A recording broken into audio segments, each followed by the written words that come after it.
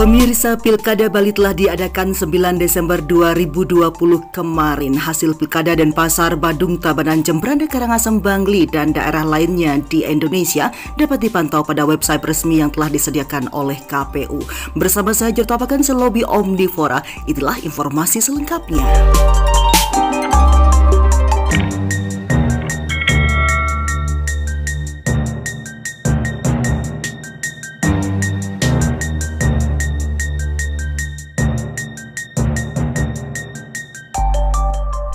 Selamat pagi pemirsa, pasangan calon bupati dan wakil bupati yang diusung partai PDI Perjuangan unggul sementara pada pemilihan kepala daerah di lima kabupaten yang ada di Bali. Hanya di Jemberane, pasangan calon bupati dan wakil bupati yang diusung PDI Perjuangan kalah suara sementara. Seluruh informasi tersebut dapat di-share di akun laman milik Komisi Pemilihan Umum di kpu.go.id. Adapun data yang ditampilkan pada laman tersebut berupa data hasil foto formulir model C hasil KWK yang dikirim oleh KPPS melalui Sirekap. Apabila terdapat kekeliruan data pada formulir model C hasil KWK akan dilakukan perbaikan pada rapat pleno terbuka rekapitulasi di tingkat kecamatan. Data yang ditampilkan pada menu hitung suara bukan merupakan hasil resmi penghitungan perolehan suara. Penetapan hasil rekapitulasi penghitungan perolehan suara akan dilakukan secara berjenjang sesuai tingkatannya dalam rapat pleno terbuka. Komisioner Komisi Pemilihan Umum atau KPU Pramono Ubaid Tantowi mengatakan banyak masyarakat yang tentu menunggu-nunggu hasil dari Pilkada Serentak 2020 yang digelar 9 Desember 2020. Oleh karena itu, pihaknya menyediakan website untuk memantau hasil sementara penghitungan suara Pilkada 2020. Masyarakat dapat memantau hasil penghitungan suara sementara pilkada di website yakni pilkada2020.kpu.go.id. Laman itu merupakan tampilan hasil sementara pilkada. Itu dikatakan oleh Pramono saat dihubungi oleh kompas.com Rabu 9 Desember 2020. Hingga pukul 11 waktu Indonesia bagian Barat kemarin, tampilan web tersebut masih kosong sebab pemungutan suara masih berlangsung hingga pukul 13 waktu Indonesia bagian Barat. Dan berikut ini adalah hasil perolehan suara sementara pasangan calon dalam Pilkada Bali berdasarkan laman kpu.go.id hingga Rabu 9 Desember 2020 pukul 16 lewat 30 menit waktu Indonesia bagian tengah.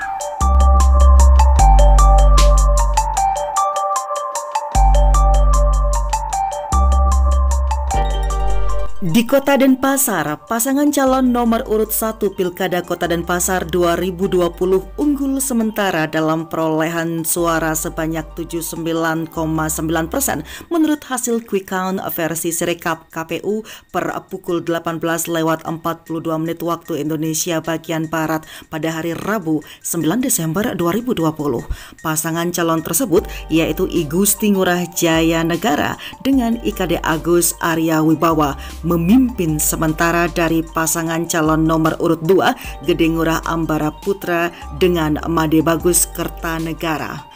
Adapun perolehan suara pasangan calon nomor urut 2 sebanyak 20,1 persen per waktu yang sama. Namun demikian, hasil quick count versi Sirekap KPU ini masih bisa berubah setiap saat mengingat proses perolehan suara yang masuk baru mencapai 32,2 persen dari 387 tempat pemungutan suara atau TPS di kota dan pasar. Sebagaimana diketahui, total suara DPT dalam dalam Pilkada Kota Denpasar 2020 ini tersebar di 387 TPS meliputi wilayah Denpasar Selatan, Denpasar Timur, Denpasar Barat, dan Denpasar Utara.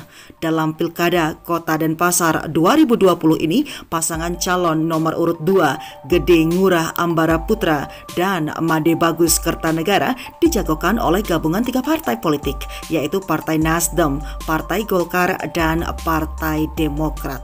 Calon wali kota Denpasar Igede Ngurah Ambar Putra telah menunaikan hak pilihnya di TPS 11 Desa Sumerta Kaja Denpasar pada hari Rabu 9 Desember 2020.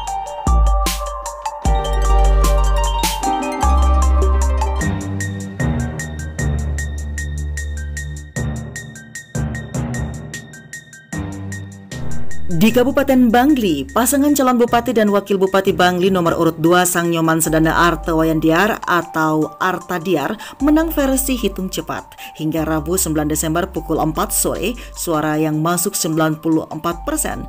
Paslon Sedana Artadiar menang 57,55 persen dari paslon Imade Subrate dan Ngakan Kute Parwata.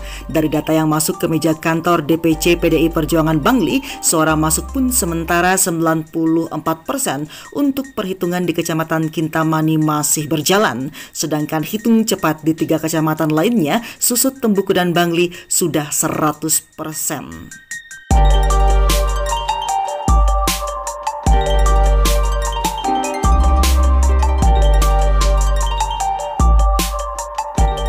Di Kabupaten Badung, penghitungan suara sementara pasangan Inyoman Giri Prasta dan Ketut Suyase di Pilkada Badung tahun 2020 mencapai target yang diharapkan. Sekretariat Dewan Pimpinan Cabang atau DPC PDI Perjuangan Kabupaten Badung, Putu Parwata mengatakan, penghitungan perolehan suara sementara pasangan Giriase unggul 94,69 persen dari target awal 90 persen untuk kemenangan di Kabupaten Badung. Badung. Menurutnya, pencapaian awal pada Pilkada Badung adalah kerja keras semua pihak DPC PDI Perjuangan Kabupaten Badung memberikan apresiasi kepada seluruh kader partai, fraksi-fraksi, serta partai pengusung dan pengusul di enam kecamatan yang ada di Kabupaten Badung atas pencapaian target akhir melebihi 90 persen.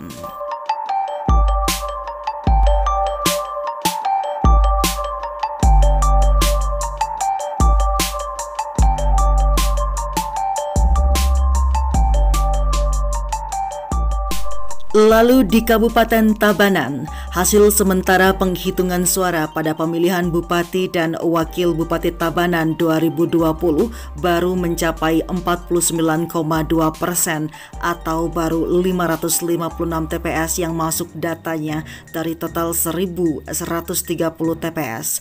Dari 556 TPS itu tercatat paslon Ikomang Gede Sanjaya dan Imade Edi Wirawan atau Jayawira unggul sementara dengan mendapatkan 73,2 persen atau sekitar 99.884 suara.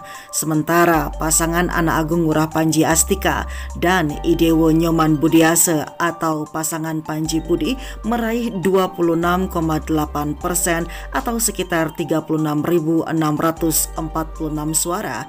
Data tersebut dikutip dari laman website pilkada2020.kpu.go.id pada pada hari Rabu 9 Desember 2020 pukul 21 waktu Indonesia bagian tengah.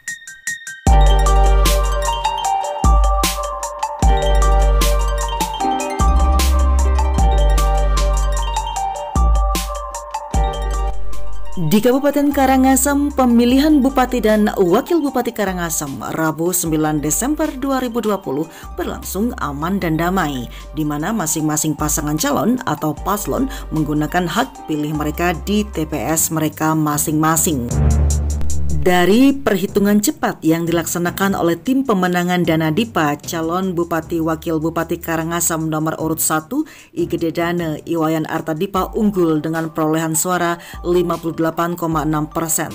Sementara pasangan Igusti Ayumas Sumatri dengan Imade Sukarene memperoleh suara 41,4 persen dengan jumlah suara sah sementara yang masuk sebanyak 214.998 suara dari 8 993 TPS dengan input data hingga pukul 18 WITA.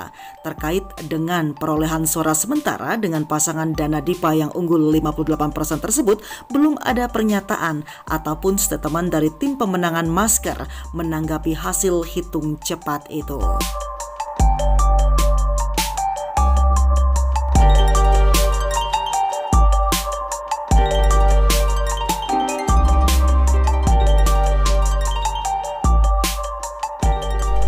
Di Kabupaten Jemberana, perolehan suara sementara kedua pasangan calon atau paslon Bupati dan Wakil Bupati Jemberana pada pemungutan suara Pilkada 2020 berbanding tipis.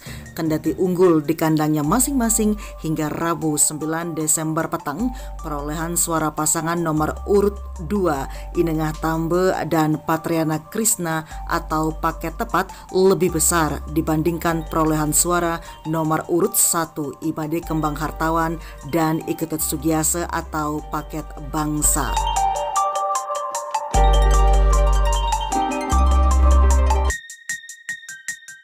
Baik pemirsa, demikianlah hasil perolehan suara sementara berdasarkan Pilkada Bali 2020 yang diadakan oleh enam kabupaten dan kota di Bali pada Rabu 9 Desember 2020.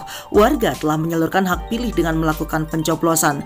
Progres selanjutnya menunggu hasil dari rekapitulasi dengan aplikasi yang tercatat di KPU hingga sore ini. Saya Juta Bahkan Selobi Omnivora yang pastinya menunggu rekapitulasi progres KPU untuk Pilkada Bali.